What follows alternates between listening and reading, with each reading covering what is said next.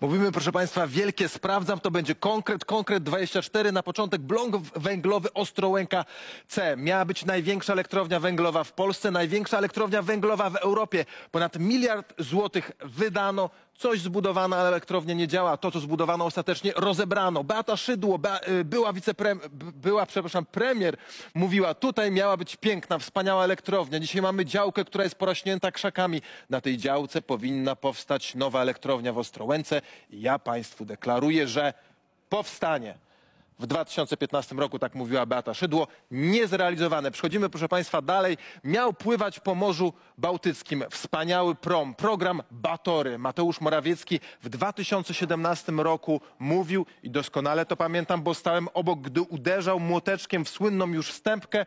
Mówił między innymi tak, przyjechaliśmy tutaj, żeby dać z powrotem nadzieję na rozwój Stoczni Szczecińskiej i dać konkretne zamówienia, stworzyć popyt na okręty, na statki, może też na okręty, które tutaj będą budowane. Status niezrealizowany w 2023 roku prom miał pływać, nadal go nie ma. To prom widmo, prom Mateusza Morawieckiego. Proszę zobaczyć kolejna z obietnic e, Prawa i Sprawiedliwości, Muzeum Bitwy Warszawskiej w Osowie. W 2018 roku mm, Mariusz Błaszczak mówił tak, przygotowaliśmy harmonogram działań, które doprowadzą do tego, że za dwa lata, czyli w 2020 roku, w setną rocznicę zwycięskiej Bitwy Warszawskiej, będziemy mogli oddać to muzeum. Status niezrealizowany, jak czytamy między innymi w gazecie wyborczej. Pod budynkiem kilka koparek usypuje gruntowe wzniesienie. W Osowie pod lasem stoi betonowy klocek, wokół nieużytki, rowy, krzaki, rozjeżdżone drogi i las. Wydano na ten cel dotychczas 90 milionów złotych. Status niezrealizowany.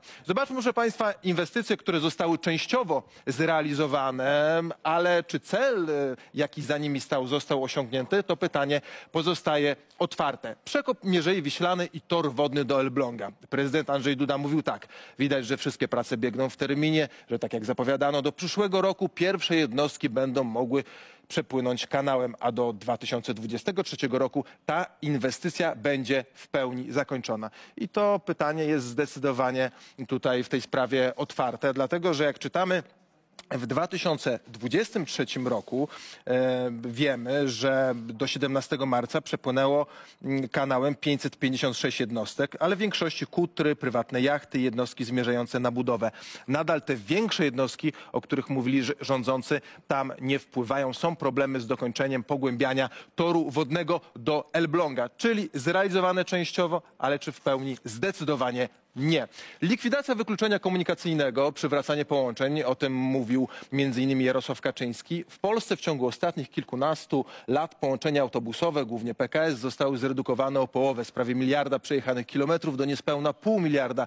Przywrócimy to, przywrócimy ten miliard przywrócimy połączenia. A my mówimy, sprawdzam za konkretem 24 i e, są informacje ze strony mm, między innymi Ministerstwa Infrastruktury, że dzięki programowi teraz autobusy docierają do ponad 5 tysięcy miejscowości, gdzie wcześniej takich połączeń nie było. Ale jak sprawdził konkret 24 na podstawie Banku Danych Lokalnych e, Głównego Urzędu Statystycznego, liczba linii komunikacji autobusowej regularnie od lat proszę Państwa, spada od ponad 14 tysięcy w 2015 roku do ponad 9 tysięcy w 2021 roku. I długość linii regularnej komunikacji autobusowej w kilometrach, proszę Państwa, w 2015 roku mieliśmy ponad 750 tysięcy kilometrów linii. W 2021 mamy niecałe 400 tysięcy. Te obietnice trzeba uznać za zrealizowaną częściowo, ale czy ten cel, o którym mówił Jarosław Kaczyński, udało się osiągnąć? Można powiedzieć, że zdecydowanie nie.